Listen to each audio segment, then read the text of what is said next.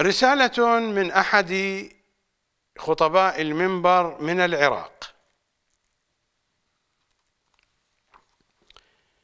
يقول في رسالته هكذا أورد الدكتور الشيخ علي المياحي في محاضرة له أن الإمام زين العابدين عليه السلام قاتل يوم عاشوراء.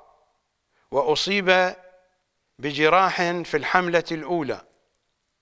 لكن المتعارف عليه أنه لم يرد نص تأريخي على ذلك خصوصا في كتب المقاتل أو مقاتل الطالبيين أو غيرها. وأنه تمرض في اليوم الذي ورد في كربلاء. هذا هو نص السؤال الذي ورد في الرسالة هذه.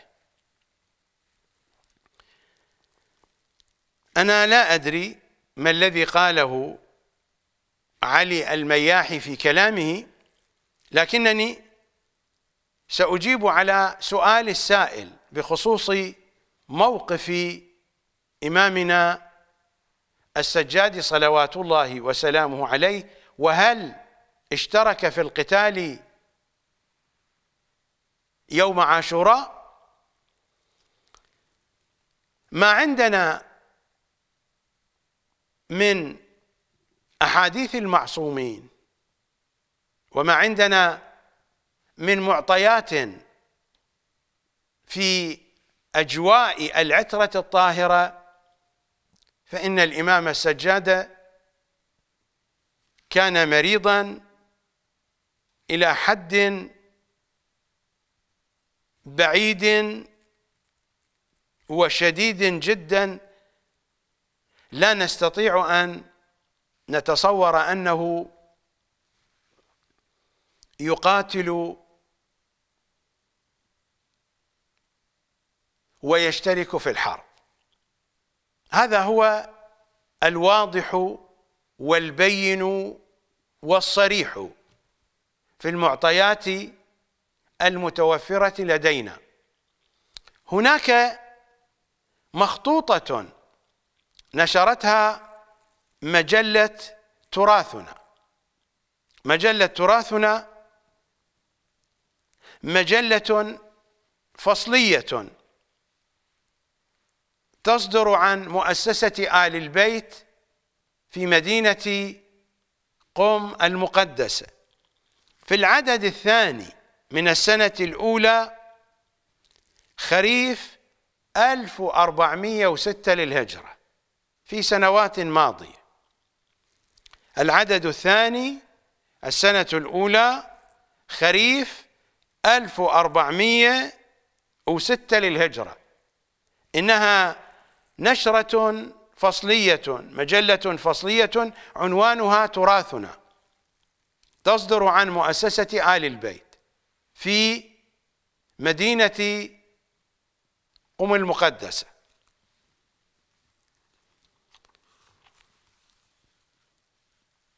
مخطوطة عنوانها تسمية من قتل مع الحسين عليه السلام من ولده وأخوته وأهل بيته وشيعته. هذه المخطوطة للفضيل ابن الزبير الكوفي الأسدي من أصحاب إمامنا الباقر والصادق. قام بتحقيقها محمد رضا الحسيني.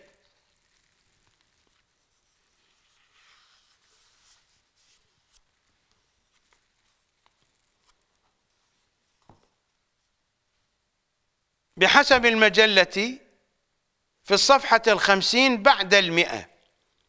جاء في هذه المخطوطة وكان علي بن الحسين عليه السلام عليلا.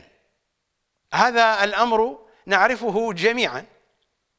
وكان علي بن الحسين عليه السلام عليلا. وارتث يومئذ. كلمة ارتث يعني أنه دخل المعركة وقاتل حتى جرح جراحات كثيرة حتى قارب الموت في قتاله.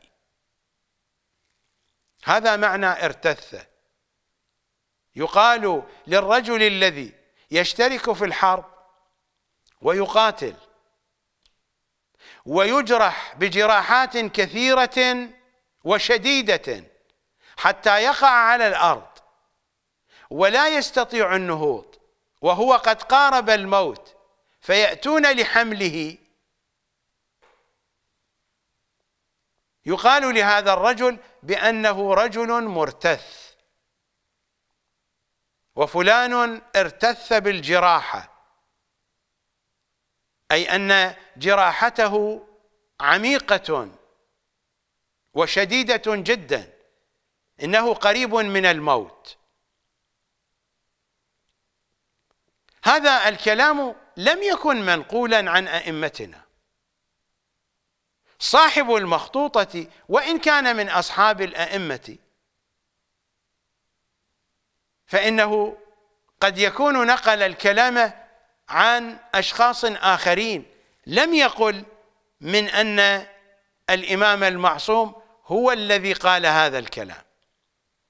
وكان علي بن الحسين عليه السلام عليلا وارتث يومئذ.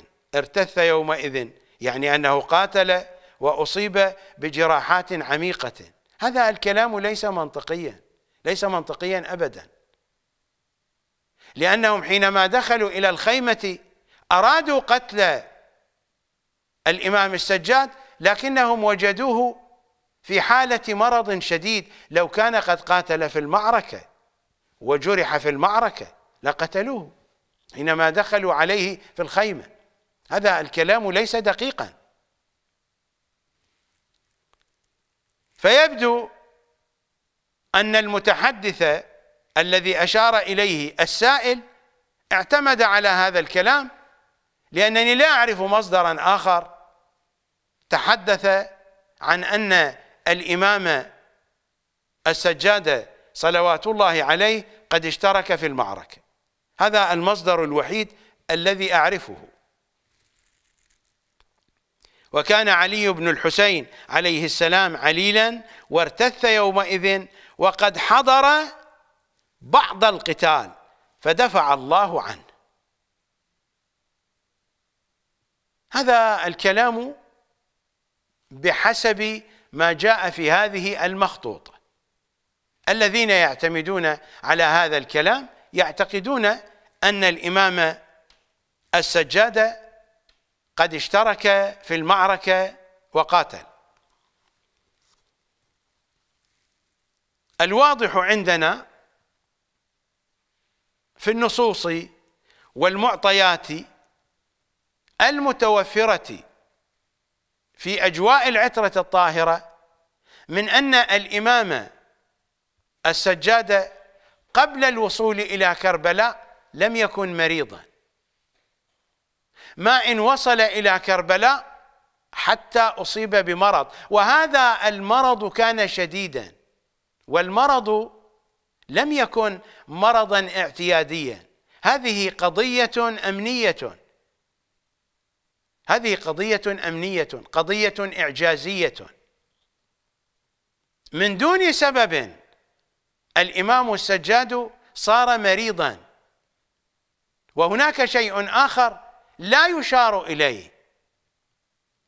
هذا المرض جعل أعداء الإمام ينظرون إليه وكأنه غلام صغير.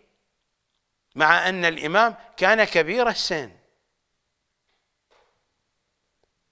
ابن شهر آشوب في المناقب يقول من أن عمر الإمام السجاد كان في الثلاثين. أنا لا أقبل هذا الكلام لأن المعروف أن الإمام السجاد ولد في السنة الثامنة والثلاثين للهجرة. هناك من يقول بأنه ولد قبل هذا التأريخ.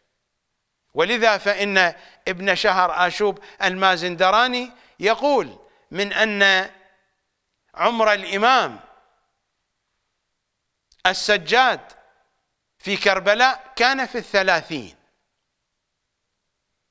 الإمام كان عمره ما بين الثانية والعشرين والثالثة والعشرين. لم يكن صغيرا.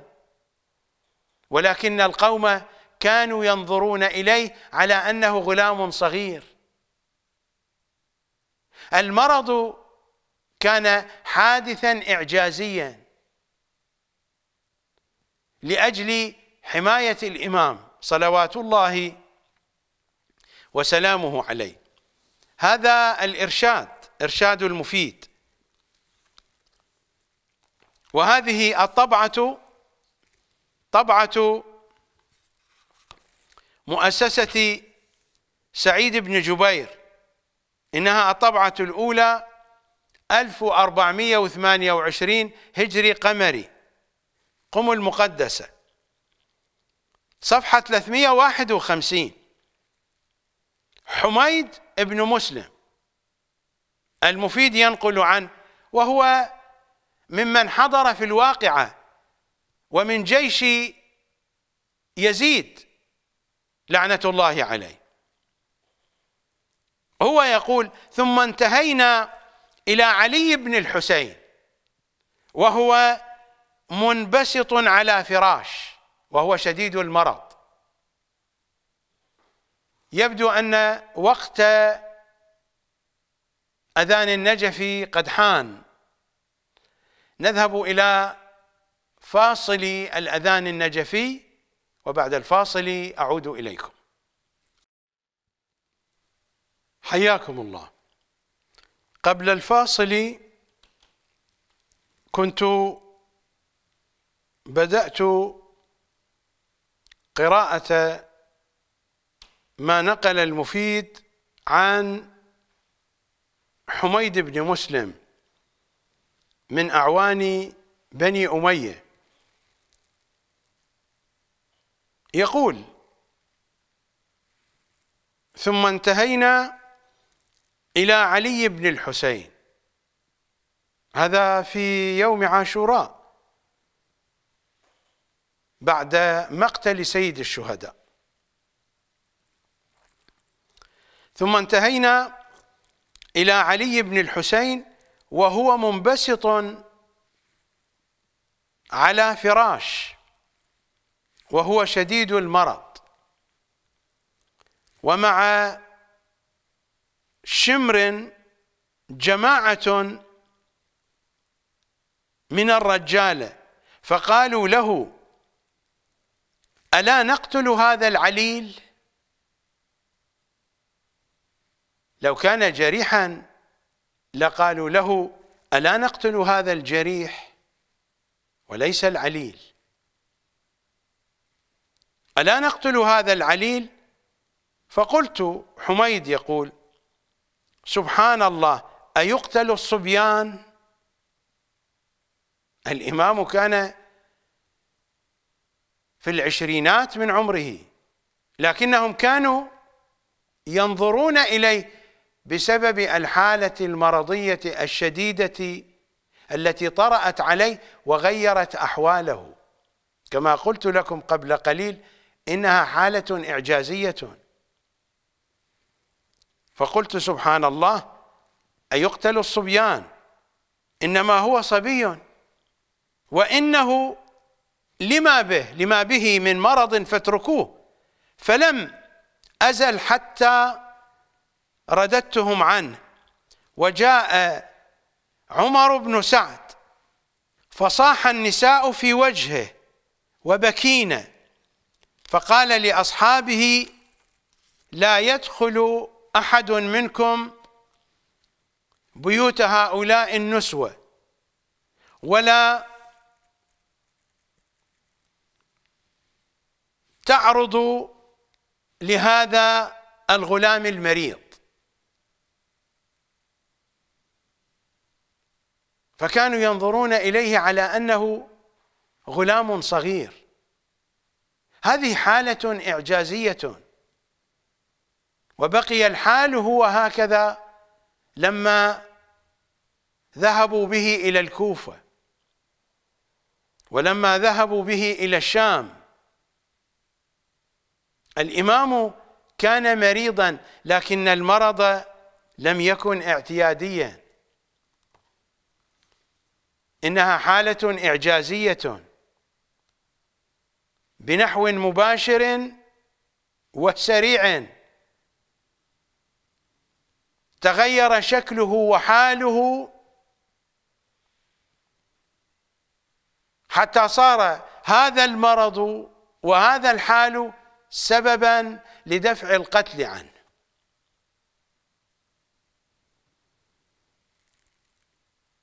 فليس هناك في المعطيات التي عندنا في الروايات في الزيارات في الأحاديث من أن الإمام قد اشترك في القتال إلا هذا الذي ذكرته من هذه المخطوطة التي نشرتها مجلة تراثنا سنة 1406 للهجرة.